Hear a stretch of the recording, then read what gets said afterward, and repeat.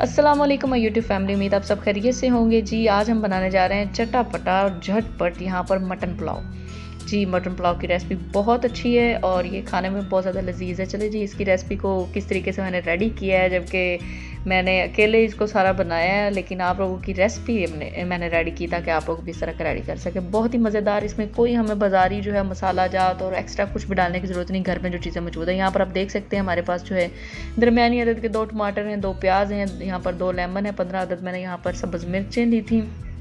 एक गट्टी जो है वो हमारे पास था लहसुन और उसके साथ अदरक थी। और ये इनको मैंने कट कर लिया, ये आपके सामने छल्लेदार जो है, प्याज हमने कट कर लेना है, उसको अपने पास रख लेना और ये स्पाइसेस एंड देगी मिर्च है, इसमें आप देख सकते हैं, सुरख मिर्च है, उसमें काली मिर्च है, काली मिर्च का पाउडर है, धनिया पाउडर है और उसके साथ बड़ी इलायची और गर्म मसाले के कुछ जो है, यहाँ पर आप देख सकते हैं, ज़ीरा है उसमें और काली मिर्च है। काली मिर्च का पाउडर भी लिया और अलग से काली मिर्च मैंने ली है।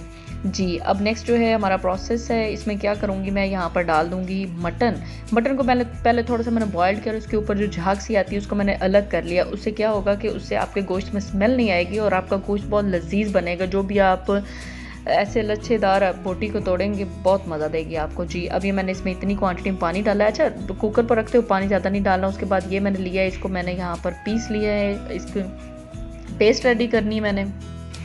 अब मैं इसको पीस लूँगी। ये जी पेस्ट की हालत में आपके सामने है। ये कितना था ये? इसकी दो टेबल स्पून बनेंगे आई थिंक सो बड़े वाले चम्मच। और उसके बाद मैंने इन प्या मिर्चों को आधा कट कर लिया था। यहाँ पर जी हमने प्रेशर पर लगा दिया है। प्रेशर जो है, ये मैक्सिमम हमारा तेरह मिनट का मैंने लगाया था। और उसके, अगर हम ज़्यादा करेंगे तो फिर वो ज़्यादा बोटियाँ जो टूटना शुरू हो जाएँगी। यहाँ पर जी मैंने चावल ले लिए बाकी इनकी जितनी भी क्वान्टिटी है, वो मैं डिस्क्रिप्शन में डाल दूँगी। वहाँ से आप देख लीजिएगा जी। अब ये हमारा जो है प्रेशर उसका टाइम पूरा हो गया था। थर्टीन मिनट्स और अब मैंने ये उतार लिया। इसकी जी लुक कुछ ऐसी है। ये आप देख सकते हैं कि गोश्त जो है, माशाल्लाह से जिस तरह का मैं बॉयल करना चाहती वैसे अब मैंने पतीला लिया है, उसमें मैंने ये घी डाला है।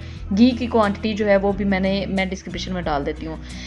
घी डालने के बाद हम इसमें अपना जो है, जो हमने प्याज की कटिंग की हुई है वो इसमें हम ऐड करेंगे। प्याज की कटिंग ऐड करने के बाद फिर हम इसकी भुनाई करेंगे।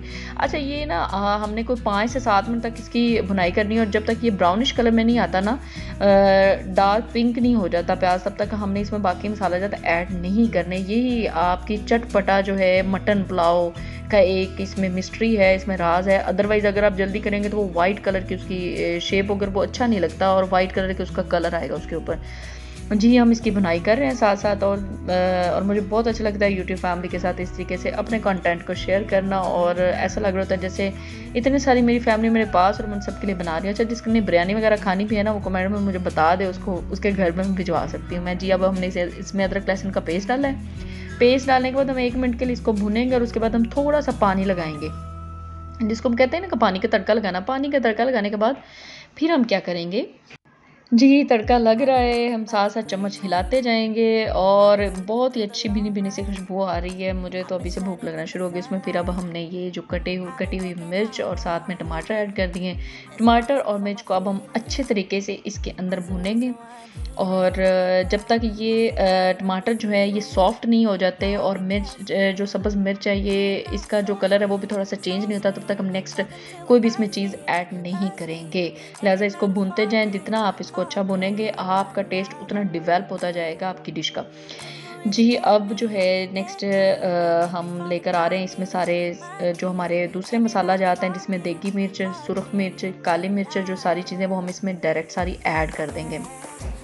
ऐड करने के बाद आप देख सकते हैं कि यहाँ पर जो है हमने सारी चीज़ें ऐड कर दी और इसकी कुछ लुक यहाँ पर ऐसी आ गई। फिर हम इसको अच्छे तरीके से भूनेंगे और भूनने के बाद हम इसमें गोश्त डालना शुरू कर देंगे। जी, गोश्त हमने डाल दिया है। इस तरीके से आप सारा गोश्त डालें और फिर इसको भूनना शुरू करें। तकरीबन पाँच मिनट के लिए भूनें ताकि जो हड्डियों के अंदर सारा उसका मसाला चला जाए। उसके बाद आप जितना उसकी क्वान्टिटी थी चावल, उसके डबल डाल दें। अगर आधा किलो तो किलो इसमें पानी आप ऐड कर दें। अब ये जी बॉयल्ड इसमें आना शुरू हो गया। बॉयल्ड आने के बाद अब मैं इसमें राइस डाल दूँगी। जो राइस मैंने वॉश करके रखे हुए थे, आप देख सकते हैं, मैंने इसमें राइस डाल दिए राइस डालने के बाद जो है, हम इसको साथ साथ चम्मच हिलाते जाएँगे ताकि हमारे जो राइस हैं, वो बिल्कुल ऐसे खिले खिले से हों एक दूसरे के साथ चिपके नहीं। अब जी, ये लास्ट में मैं दम पर लगाने लगी और आप देख सकते हैं कि इसकी लुक कैसी है। ये बिल्कुल राइस अलग अलग है और इसमें हमने हर एक चीज़ क्वांटिटी के अकॉर्डिंग डाली है। ये जिसकी फाइनल लुक है, आप देख सकते हैं, बहुत मज़ेदार है। अगर किसी ने खाना है तो मोस्ट वेलकम घर में भी आकर खा सकते हैं।